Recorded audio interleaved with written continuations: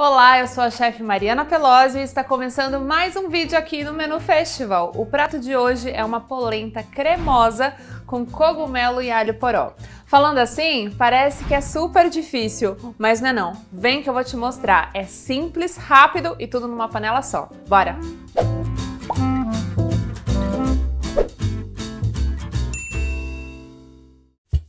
Que vai facilitar para você é já ter uma água quente. Então já deixa ali uma água fervendo, uma água quentinha que isso vai ajudar. Na panela quente aqui, ó, minha panela tá quase no ponto.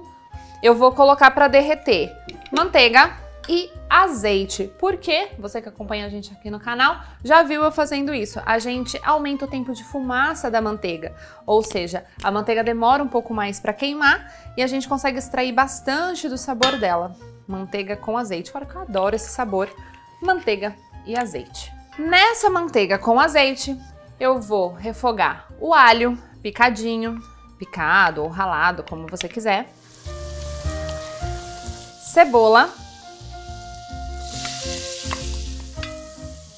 Eu amo esse aroma da manteiga com a cebola, o alho, muito gostoso. Alho poró, aqui. Alho poró cortadinho, em rodelinhas. Vou deixar tudo pegando esse sabor aqui. Vou dar aquele carinho, que é temperar os ingredientes por partes. Não deixar para temperar tudo no final, né? A gente vai temperando tudo devagarinho. Então, sal, uma pimentinha, dá esse sustinho aqui e vou entrar com cogumelo fresco. Aqui a gente está usando Porto Belo e shimeji, mas você pode usar o cogumelo que você quiser. É muito comum a gente servir a polenta com carne ou a polenta com molho de tomate. Aqui a gente não vai ter molho de tomate, acho que essa variação também é bem legal e você vai ver como é que fica bem gostoso. Deixar esses legumes aqui se conhecerem também. Mais um salzinho. O cogumelo, ele é muito esponjoso, então ele pega bastante o tempero. E ele é basicamente de água também, né? Então não dá para você deixar ele cozinhando aqui longas horas, não. Ele é uma coisa de mais rapidinho. É, salteou, deu essa refogada, já tá pronto. Meu toquezinho aqui.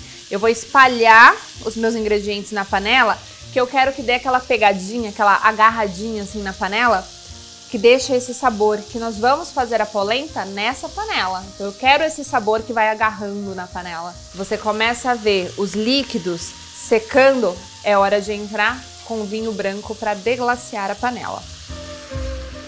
Bastante cuidado, principalmente se você estiver fazendo aí no fogo mesmo, né? Então bastante cuidado. Vem aqui com a sua colher tirando o que ficou agarradinho, pegando todo esse sabor. Dar mais uma pimentinha.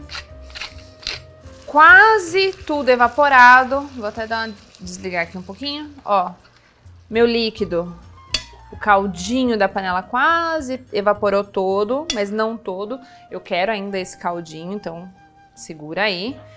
Vou reservar o alho poró e o cogumelo, que já tá aqui bem gostoso e feito.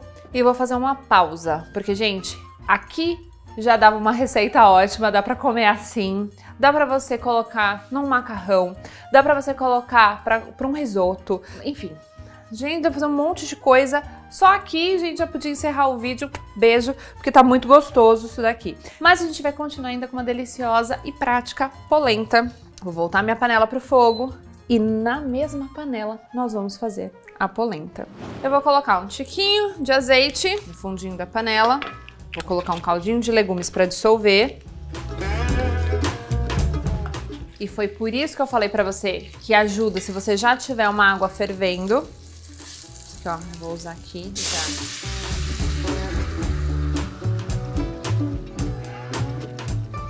Vou dissolver. Vou temperar. O meu caldo de legumes aqui é zero sal, então precisa colocar um salzinho. Pimentinha.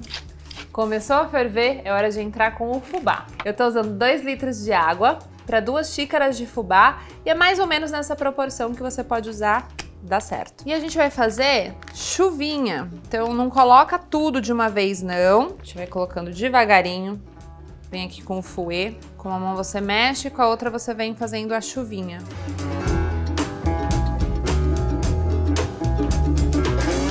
Porque depois que você misturou bem, é importante mexer com uma colher uma espátula, pegando sempre dos cantinhos aqui pra gente não deixar empelotar. Vou deixar também duas dicas aqui. Para você ter um prato excelente, você precisa de bons ingredientes. O fubá que eu tô usando é de grãos orgânicos, livre de agrotóxicos, e isso ajuda bastante no resultado da sua receita. Então tem que ter bons ingredientes para ter um prato excelente. Essa polenta, ela é mais cremosa, ela vai estar tá mais líquida, aquela polenta de comer de colher, assim, sabe? Hum, tempo friozinho, minha preferida. Se você quiser fazer aquela polenta de corte, é só continuar cozinhando ela mais tempo. Você vai cozinhar, cozinhar, cozinhar até ela desgrudar da panela. Quando ela começar a desgrudar da panela, você já pode informar, cortar e servir, passar na manteiga, fritar, hum, como você quiser. Eu quero finalizar ela mais cremosinha. E outra coisa que eu faço sempre é ir experimentando conforme a minha polenta vai cozinhando. Porque não tem nada pior de uma polenta quando ela tem gosto de cru. É muito ruim. Às vezes ela dá ponto, ela engrossa, mas ela ainda tá com gosto de cru. Para isso não acontecer, abaixa o fogo e tenha paciência. Vai mexendo aqui e espera sua polenta realmente cozinhar. Nesse ponto aqui, em que ela já tá cozida, gostosa, temperadinha e tava ainda com fundinho do cogumelo, do alho poró, da cebola, do alho, hum, bem gostoso. Agora eu vou adicionar mascarpone e queijo parmesão. Gente, ai, delícia. Essa polenta traz a pessoa amada em três colheradas. Aqui eu tô fazendo com mascarpone e parmesão, mas já vou te dar duas opções. Você pode substituir o mascarpone por requeijão cremoso e creme de leite, faz uma mistura, coloca aqui e adiciona parmesão, fica uma delícia.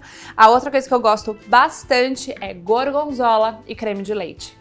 Fica deliciosa, deliciosa. Ai, olha que polenta linda! Vou adicionar, e eu tô aqui, gente, no fogo super baixinho. Vou adicionar o parmesão. Mexe, mexe, mexe, mexe, mexe. E se você for fazer a polenta mais durinha, vale a pena você colocar os cogumelos com alho poró por cima, colocar um, um parmesão e levar pro forno, gratinar. Fica deliciosa. Ó, já te dei um monte aí de dica, hein? Esse vídeo já rendeu várias outras receitas. Polenta cremosa e pronta. Bora servir? Vou montar aqui o prato. Que bonito. A polenta é um prato tipicamente italiano, chegou aqui no Brasil pra gente com os italianos, com a comunidade, a comune italiana, e ganhou várias versões super sofisticadas. Hoje, por exemplo, a gente está adicionando aqui dois queijos, um cogumelo, coisas super bacanas. Mas, como curiosidade, no século XVII, é, já foi um prato muito, muito, muito simples e ajudou aí bastante gente, porque era uma versão bem barata e dava lá a sustância, substituindo massa, era algo bem mais barato, substituindo um pão, por exemplo. Agora, esse grão maravilhoso aqui do milho, super versátil, nutritivo e o grão que a gente está usando, orgânico, sem agrotóxicos, só faz bem para a saúde, dá aquele abracinho no estômago, gente. Ó que beleza. Finalizar um tiquinho de pimenta e claro, um bom azeite. Hora de provar essa polenta muito aromática. Só tem ingredientes que eu gosto. Não tem como ficar ruim. Hum. Não tem mesmo como ficar ruim, gente. Hum, e faz esse carinho, essa finalização, um pouquinho de pimenta, um azeite. Faz toda a diferença. Hum. E a cremosidade do queijo deixa a polenta leve. O acompanhamento, por ser vegetal, por ser um refogadinho com cogumelo, fica ainda mais leve. Prato maravilhoso, um dia assim mais friozinho, mas não é pesado. Funciona super bem como um prato principal e até uma entradinha. Faz, marca a gente, escreve aí nos comentários, compartilha essa receita com quem você ama e polenta, fica super gostoso para harmonizar com um bom vinho. Passa lá no festival, sempre vai ter alguém para te atender e te indicar um bom vinho. Eu já vou deixar aqui a minha sugestão. Se você gosta de um vinho branco, dá para harmonizar, por exemplo, com um Sauvignon Blanc, que é um vinho mais frutado, mais fresco, vai ficar bem gostoso. E com os cogumelos aqui, se você quiser ir para um vinho tinto, um Pinot Noir também fica bem gostoso, harmoniza, ele é levinho, mantém aqui o frescor da nossa receita. Bom, eu vou comer e repetir. Então, tchau!